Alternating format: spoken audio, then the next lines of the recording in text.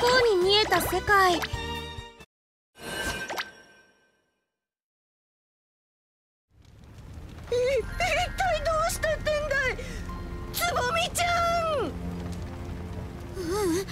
あれってつぼみちゃんじゃないよ！ねえしぶりしまむ！うん。あれってもしかして。植木ちゃん？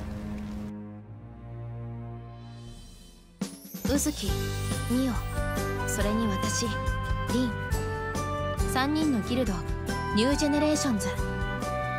冒険者として活動していた私たちはある日アイドルという存在を知ってそして自分たちもアイドルになろうって決心しました。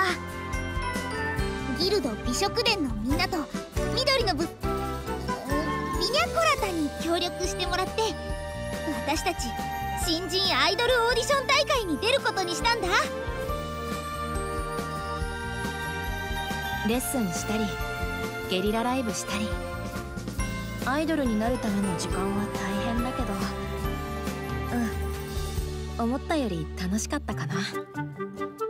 でもアイドルになろうとすればするほど私たちはなんだか変だなって違和感みたいなものを覚えるようになっちゃったんです。そしてオーディションの本番で知らないはずの歌を歌えちゃった時。ぼんやりとしていた違和感は確信に変わったんだ。やっぱり私たちは何か大事なことを忘れちゃってるって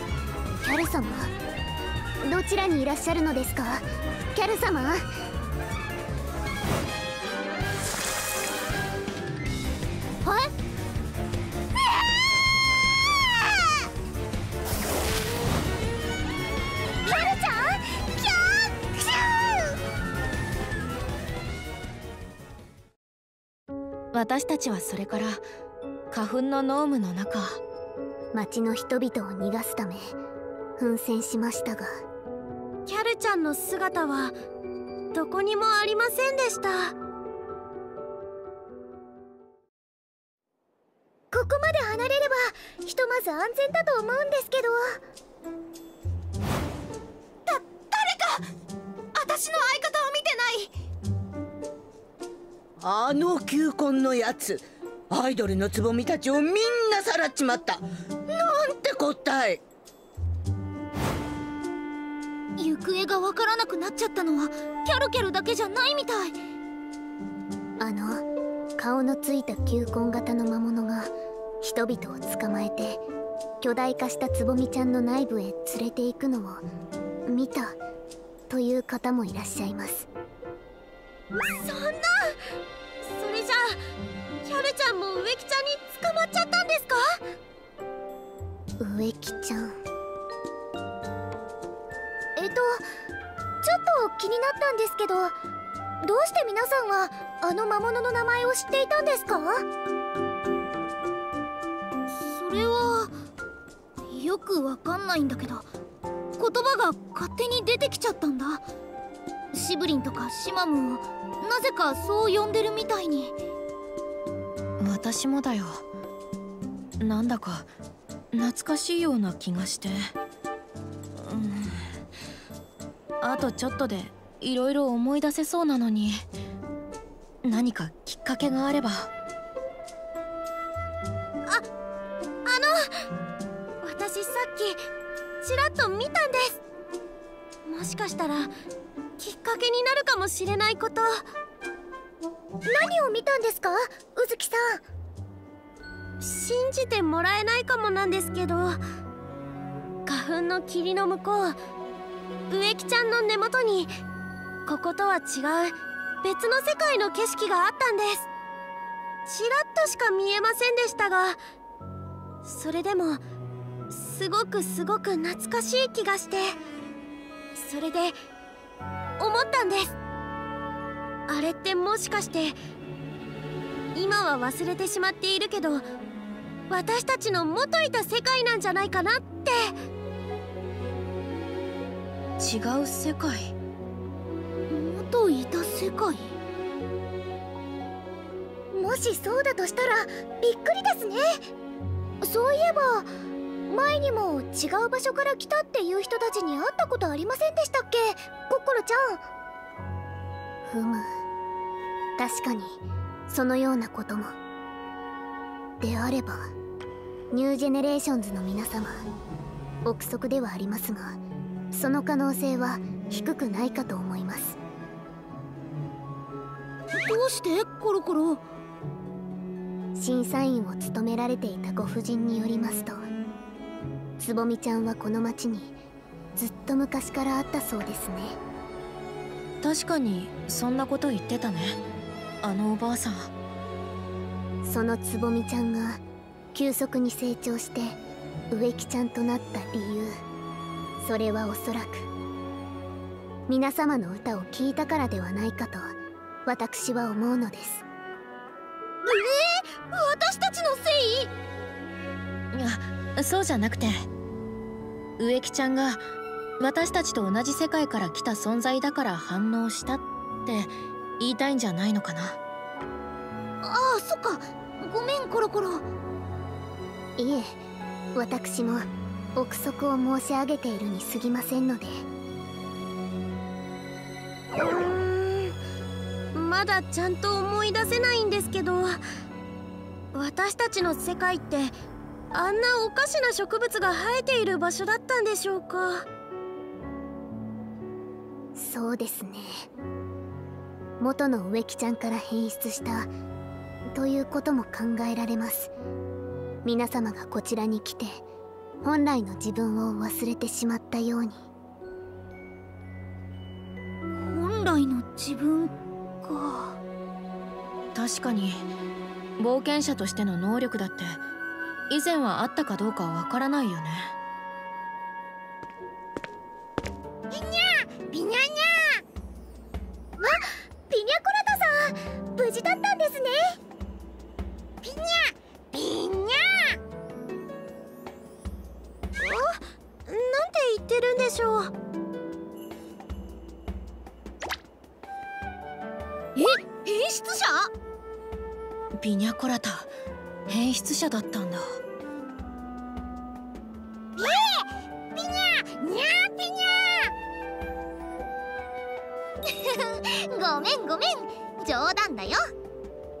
もしかしたらピニャコラタも私たちと同じ世界から来た存在なのかな？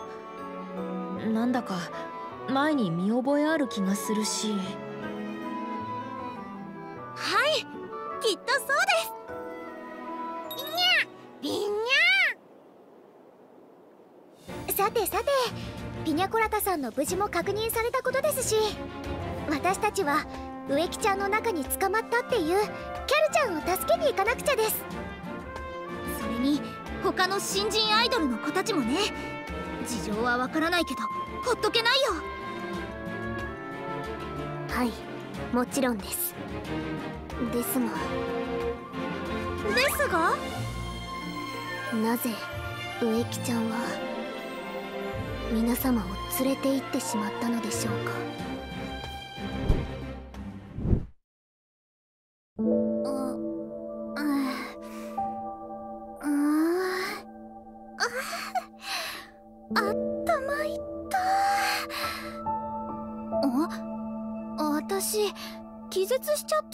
っていうかここどこ真っ暗で何も見えないじゃない。おーいコロスケペコリーヌリンミオウズキいないか。あなんだか頭がグラグラする。あの花粉吸い込みすぎちゃったからかしらね。また意識をなくす前に出口を見つけないと。とりあえず暗視の魔法を使っておきましょう。ほんとここどこかしら？ん？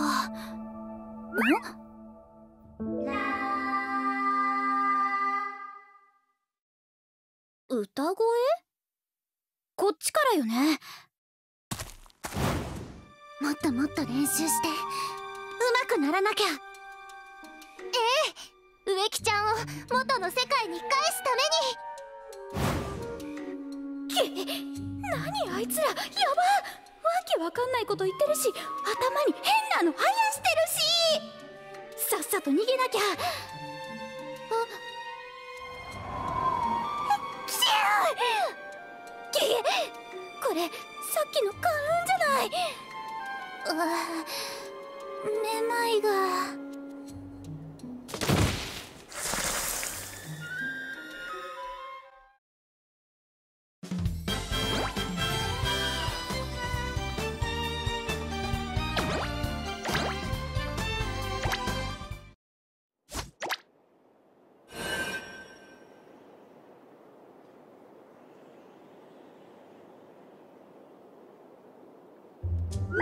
の町さっきまであんなに賑やかだったのに。人っ子一人いなくなっちゃってるね。無理もないですよ。植木ちゃんがああしてそびえ立っちゃってるんですから。私たちは植木ちゃんの中に囚われた人々を助け出さなくてはいけないわけですが。厄介なのはあの花粉だね。くしゃみが出るのはもちろんだけどなんだか魔法の効果もあるみたい。布で口を覆うくらいじゃ防げないですし吸いすぎると頭がぼんやりしてきちゃうんですよね。困っちゃいます。遠くから矢などを追いかける程度ではびくともしませんね。あの外皮は見かけ以上に硬いようです。魔法攻撃が得意なキャルちゃんが捕まっちゃったのは痛手でしたね。あんまり強力な攻撃で壊したら中にいる人まで巻き込んじゃうから危ないと思うし。ふむ困りましたね。迂闊に近づけず下手に破壊してもいけないとなると一体どうすればよいのでしょうか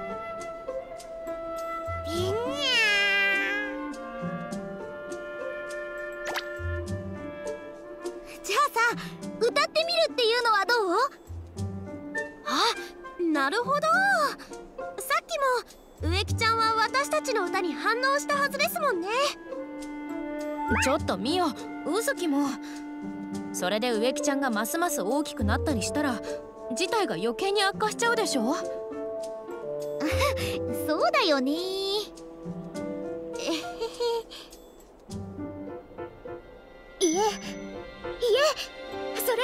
いいかもしれません。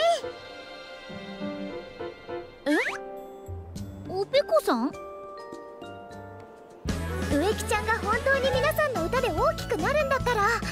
もう極限まで大きくしちゃいましょう。ええー、あの細長くて上の方が膨らんでる植木ちゃんです。大きくなるだけ大きくしちゃえば。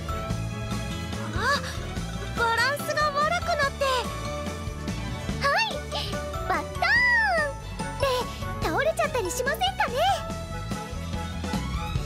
え？本当にできるのかな？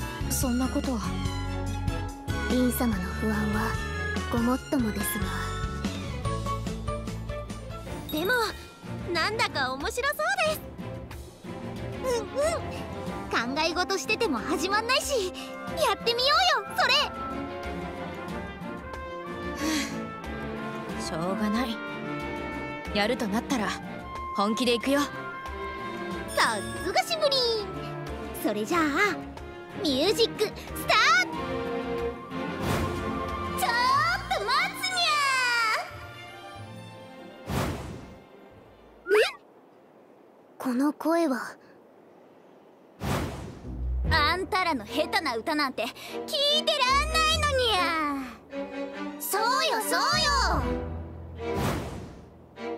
えー、皆様あそこです。植木ちゃんの口元あたり。キャルキャルアイドルキャルちゃん華麗に登場にゃー。キャルちゃん？ここからは私たちプロスペリティキャッツのステージなのにゃそうよそう左右のお二人は先ほどのオーディションに参加されていた方々ですね。ななんだかずいぶん様子がおかしくない？キャルちゃんどうしちゃったんですかその格好は？うんまるでアイドルみたいだよ。はみたいじゃなくてもう私はアイドルにゃそうよそうよアイドルキャルも？でもキャルちゃん猫系のビーストだからって語尾にニャをつけて猫キャラをアピールするなんて。うんまんますぎるよキャルキャル。あざとすぎるよ。ちょっとそのイメージが変わりましたねキャルさん。うっさいなキャラ付けの一つもしなきゃアイドルってのはやってけないのにゃそんなことはないと思うんだけど。問答無用にゃあんたたちなんてこの歌で黙らせてやるにゃ。イエーイ！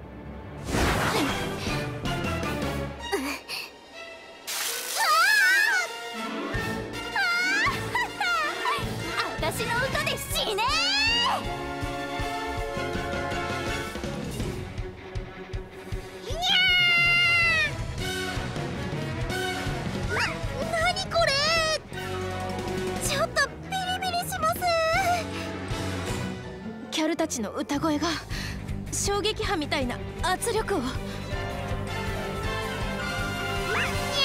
ピニャピニャニャ。ピニャコラタさんなんて言ってるんですか？魔力のこもった花粉が歌声で増幅されぶつかってきている。ということですか？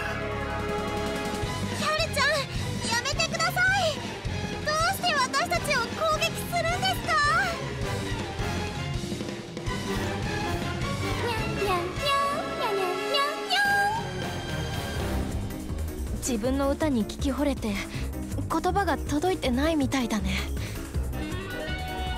見てください皆様。キャル様のいえプロスペリティキャッツのお三方のお体に小さな植木ちゃんが生えてしまっております。本当だ！さっきからキャルちゃんの行動がおかしいのも私たちを攻撃しているのもみんな植木ちゃんに操られてるからってこと？そうだよ。操られでもしなくちゃ。キャルキャルが友達を攻撃なんてするはずないよ。えー、っと。それは事情によるとしか言えませんね。ごちゃごちゃやってんじゃないのにゃ死になさい。キャルキャル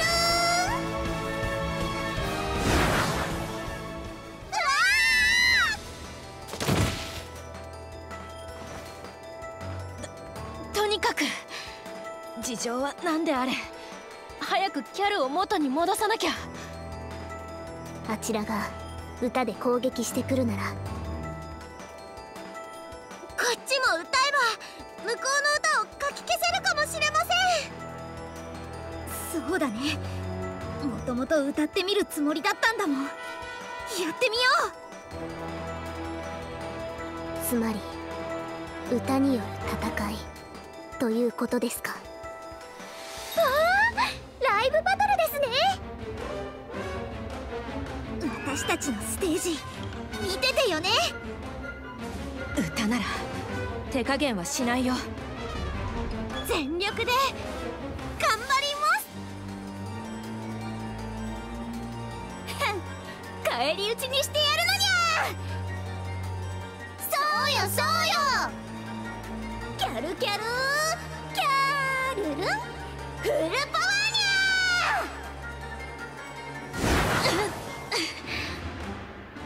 歌なら歌でかき消せるかも。って思ったんですけど。そう簡単じゃないみたいだね。でもまるっきり無意味ってわけでもなさそうだよ。何かあと一つきっかけがあれば。皆様苦戦しておられる模様です。何か私たちにできることは。ニュージェネレーションズの皆さんを応援しましょう。はい。ピニャコラタ様も。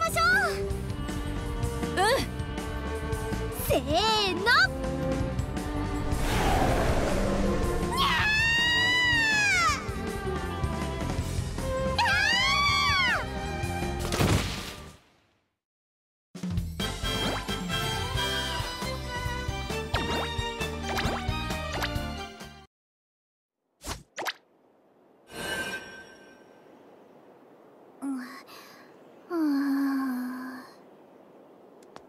キャルちゃん。キャルキャル大丈夫ごめん。まさか歌で吹っ飛ぶなん。て思わなかったよですがニュージェネレーションズの皆様のおかげでキャル様たちに付着していたミニ植木ちゃん。が外れましたはい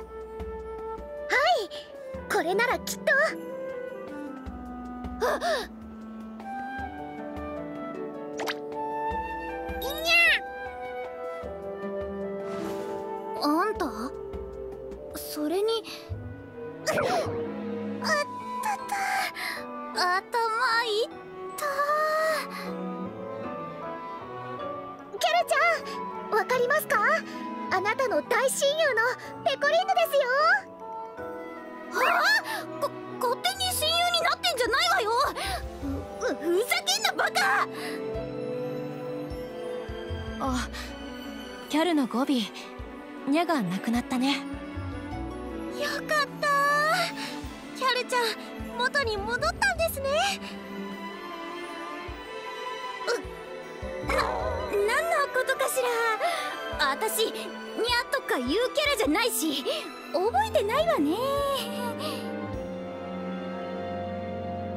キャルちゃん華麗に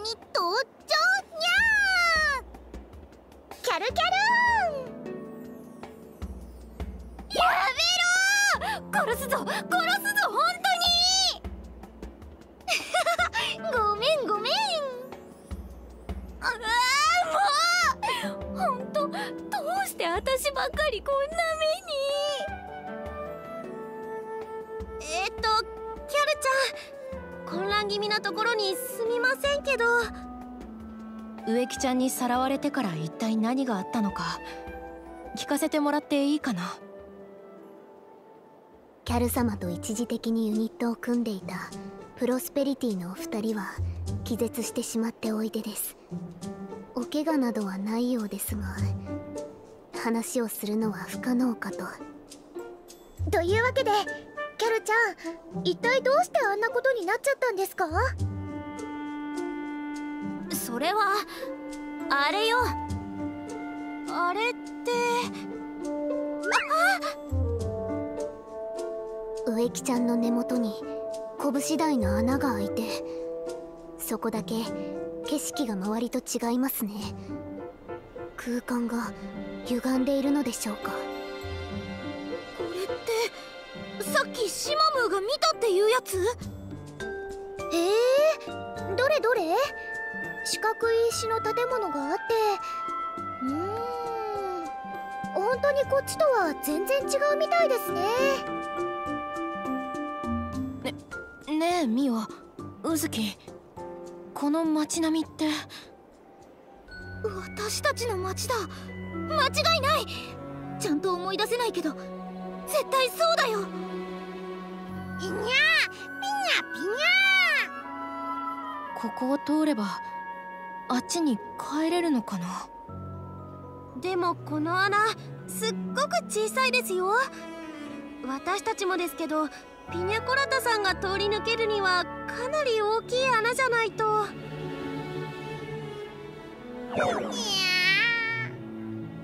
かなり大きい穴じゃないとうずきのお尻も通れないでしょうね。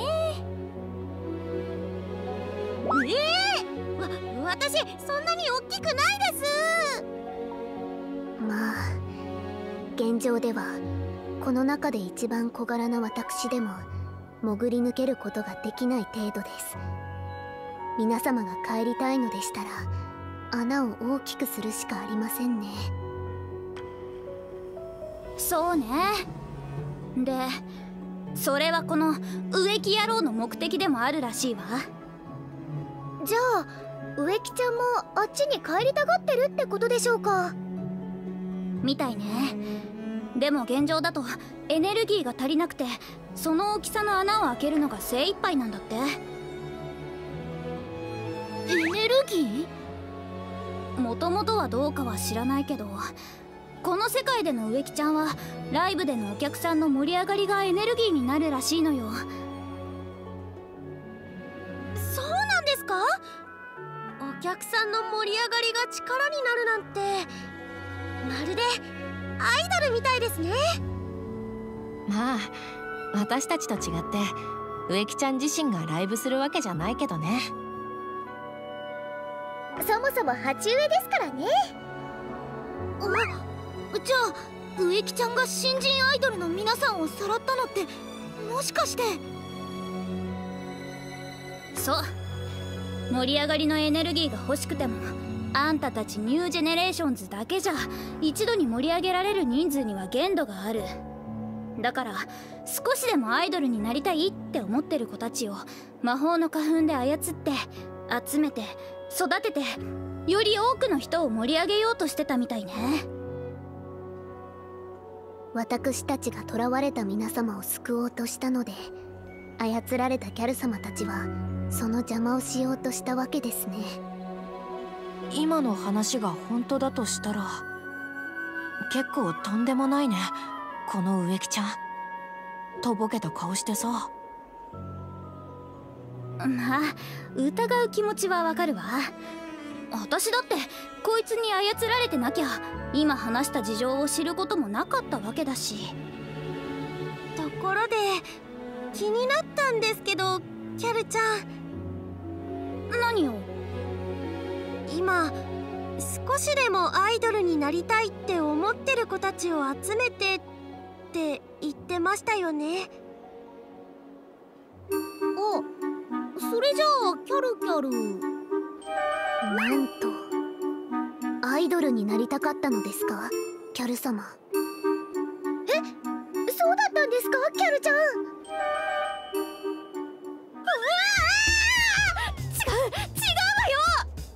や違わないかもしれないけどちょっとよほんのちょっとだけだから。っていうか私くらいの年の女の子なら普通アイドルみたいに綺麗な服着てチヤホヤされたいって思うでしょ？少しくらいはさ。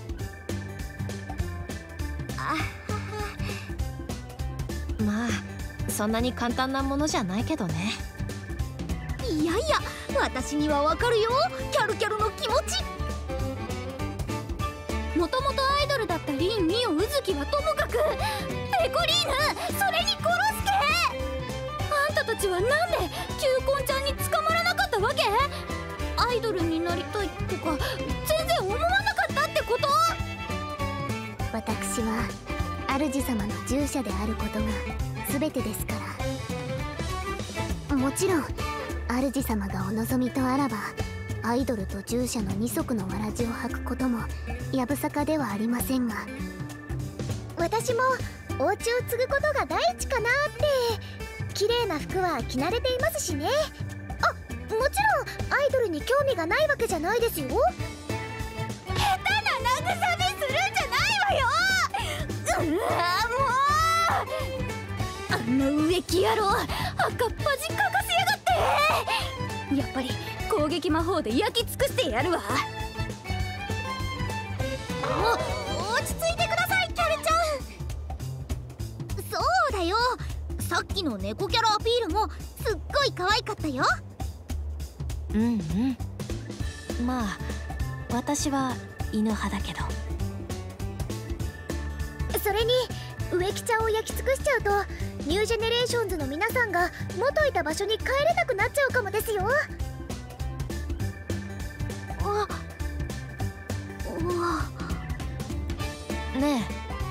えうずきみおやっぱり向こうに帰りたい。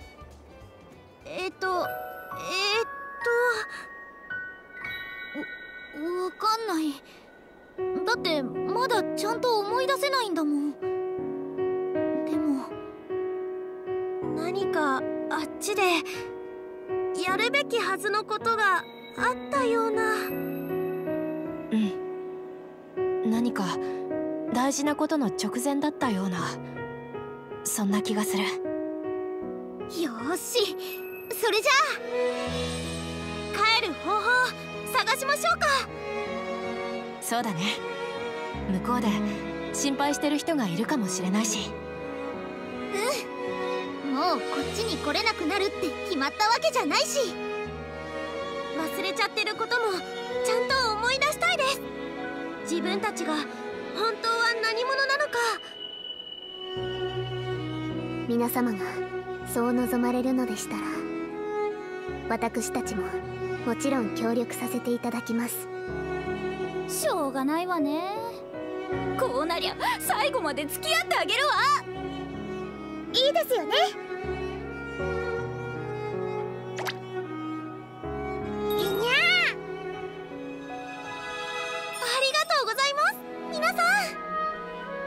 頼りにしてるよ。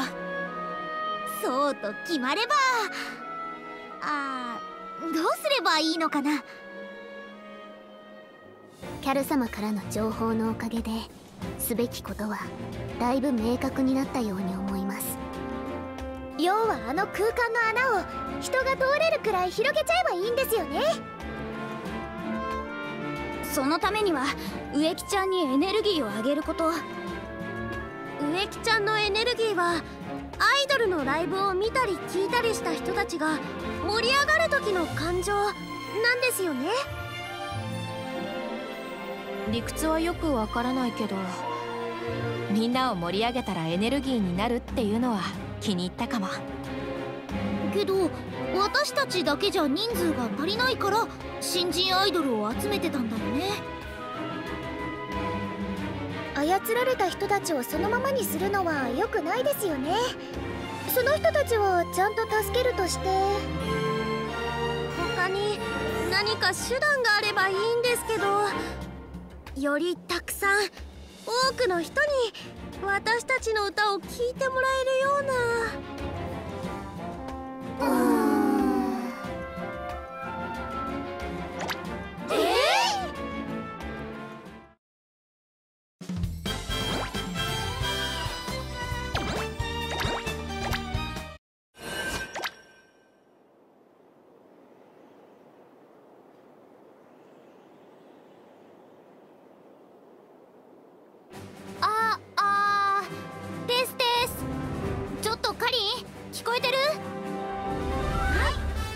ギルド管理協会ですしっかり通じてい。ますよ美食殿の皆さんオッケーカオの方はどうはい。なこっちにも。はっきり。聞こえてます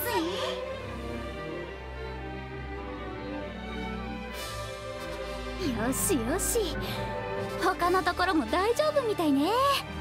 10箇所くらい同時に通信魔法をつなげるなんてできるかわからなかったけど。なんとかなるもんだわ。わあギャルちゃんすごいです。今遠くのギルド管理協会さんたちと会話してるみたいにライブの音をそのまま通信魔法で送ってもらえればいろんな街に私たちの歌が届けられるんだね。こんなこと可能なんだね。でもかなり魔力を使うんじゃない？キャルは大丈夫？余裕よ余裕。あんたの強化ってこういう使い道もあるのね。君もありがとね。ギルド管理協会さんだけじゃなく知り合いの子みんなに声をかけてくれてあちこちの町で用意をしてくれて。これって君の人望がなければできないことだよね。本当にすごいよ。ヒューマンのメイドの子エルフの魔法使い魔族の先生にビースト族のお姫様に探偵に吸血鬼まで。みんな女の子なのはちょっとびっくりしたけど。本当にすでに交友関係は把握しているはずの私もびっくりでございますよ。主様。あ カリン様にはギルド管理協会のコネクションで各町でビラを配るなどの宣伝活動もお願いしています。ムーサの町のオーディションで優勝した新人アイドルたちによる記念すべきファーストライブって歌い文句ですよ。しかも各町に同時に歌をお届けする世界初のライブチューニングですから。これは大盛り上がり間違いなしですね。ななんだかすごそう。ここまでしてくれたんだし期待には応えないとね。なああんたたち。審査員のおばあさん？事情はよく知らないけどライブするんだってね。ならこの音響版を使っておくれ。オーディションで優勝したあんたたちのための新しい曲さ。ありがとうございますおばあさん。うん。いい曲だね頼んだよあんたたち。今はこんな騒動になっちまってるが私にはあのつぼみちゃんいや植木ちゃんが悪いものだとはどうしても思えなくてね。任せてくださいおばあさん。植木ちゃんは私たちが絶対どうにかしますから。いやいや悪くないって。私操られてたん主様植木ちゃんですが現在も時折活性化し花粉や球根ちゃんを放出しています。あんまり迷惑かけるようだったら攻撃を入れておとなしくさせましょう。でかいだけあって頑丈だから簡単には折れやしないでしょ困った植木ちゃんはお尻ペンペンですね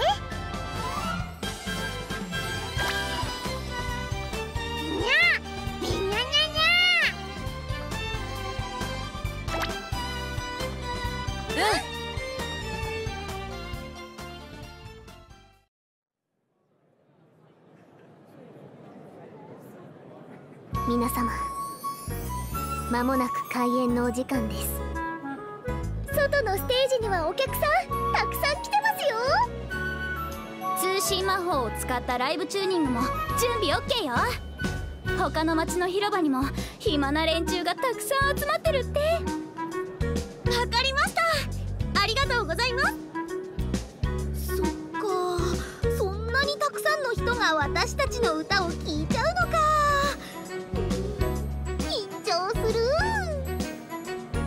ミオ顔に「楽しみ」って書いてあるよ。バレちゃった？そうですね。私もとっても楽しみです。お？うずきシモム？どうしたの？あえっと なんだかおかしくて何がでしょう？うずき様。だってちょっと前の私たちはあの村の人たちに向かって歌うのも恥ずかしかったのに今では会場いっぱいのお客さんと遠くの町のお客さんにまで聞いてもらえるのをこんなに楽しみにしてるだなんて。そうだね。でも前はもっともっと多くの人に私たちの歌を聴いてもらってたような気がするよ。じゃあもしかして私たちってすごいアイドルだったのかもね。きっとそうですね。みんなおピニャレッスン最後まで付き合ってくれてありがとね。本当ピニャと君がいてくれて助かったよちゃんコッコロちゃんキャルちゃんも。ここまで本当にありがとうございました。とんでもありません。皆様のお力になれて嬉しかったです。このライブが成功しちゃったらもう皆さんの歌を聴けないと思うと寂しいですけど。練習も含めたら随分たくさん聞いてもらったね。せっかく私たちがここまでお膳立てしてあげたんだから。本番で緊張して失敗しましたとか勘弁してよね。大丈夫大丈夫。任せて。そうだ。ピニャコラタさん大舞台に出る私たちにアドバイスとかありますか？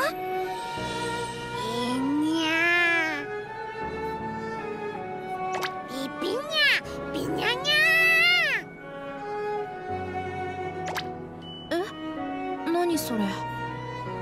まあまあ面白そうじゃんシブリン。そうですね。最近は美食殿の皆さんがいろいろ教えてくれたおかげで美味しいご飯をたくさん食べられましたし。うーん。じゃあ何にしようか。最近食べたものといえば。グリフォンの手羽先とかキラー B の蜂の子炒めとか。スライムのゼラチナ丼とか？ちょっと！そんなゲテモノ叫びながらステージに上がるとか失敗しても知らないわよ！そうでした！好きな食べ物でしたね。私はおにぎりが好きです。ほかほかご飯のおにぎりは最高です。ジュルな食べ物好きな食べ物。うん。チョコレートとか。生ハムメロンとか。フライドチキンとか。あああ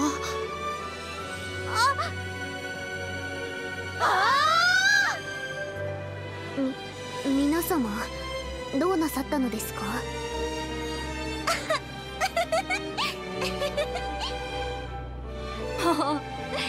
全然思い出せなくて散々悩んでたのに。こんなので自分たちのことを思い出しちゃうなんて。変なの。ええニュージェネレーションズの皆さんこんな土壇場で記憶が戻ってきちゃったんですか？ちょちょっともう改変よ。ちゃんと歌えるの？はい。どーんと任せてください。そして見ていて。美食殿のみんな。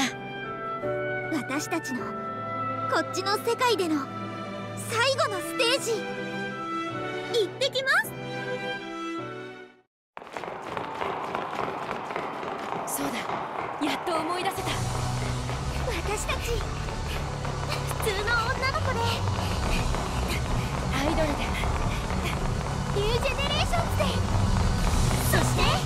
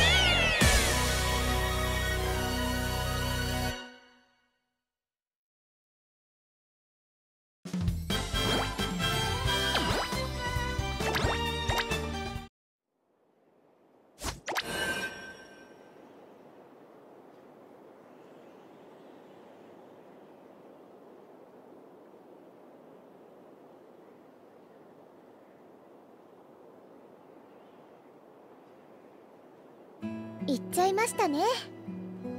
行ってしまいましたね。ピニャコラタ様も。そうね。ま無事に帰れたらいいんじゃない？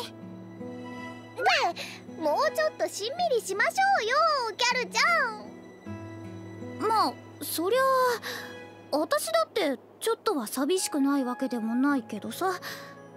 それより今回の依頼って実は相当儲かったんじゃない？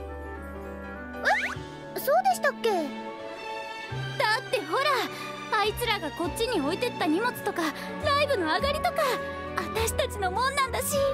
そうでしょ？キャル様お気の毒ですがそうしたお金の使い道はニュージェネレーションズの皆様から託されておりましてムーサの町の復興資金と次回の新人アイドルオーディションの賞金としてもう渡しちゃいました。わあこんだけ苦労してあんなに恥ずかしい目にあったってのに。それじゃまた骨折り損みたいなものじゃないの。ニュージェネレーションズの皆さんの歌を記録した音響盤はすっごく大事な宝物ですけどね。ふむキャル様。賞金でしたら次回のアイドルオーディションに優勝すれば受け取ることができますよ。あなるほど！キャルちゃんが一人でアイドルするのが心細いって言うなら私たちもユニットを組んでやってあげますよ。キャルキャルーンでございます。やらないわよ！バカ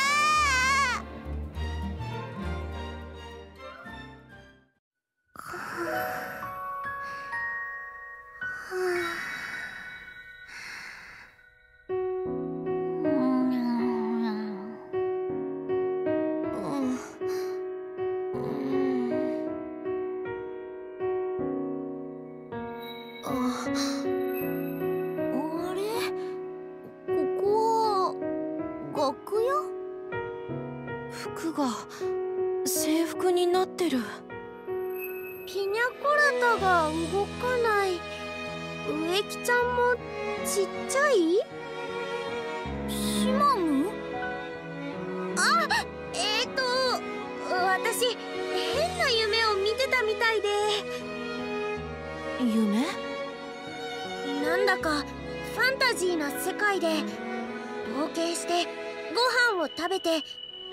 するような夢を。え？しまむーも？二人も？ニュージェネレーションズの皆さんそろそろ準備お願いしますね。ああそうです。私たちこれからライブでした。もうこんなタイミングで寝ちゃうなんて。息抜きで試供品のゲームしようなんて言わなければよかったよ。あプロデューサーさんもさっきまで隣の部屋で VR のゲームをしてたみたいですよ。え？そうなんだ。プロデューサーも寝落ちして変な夢見てたりしてね。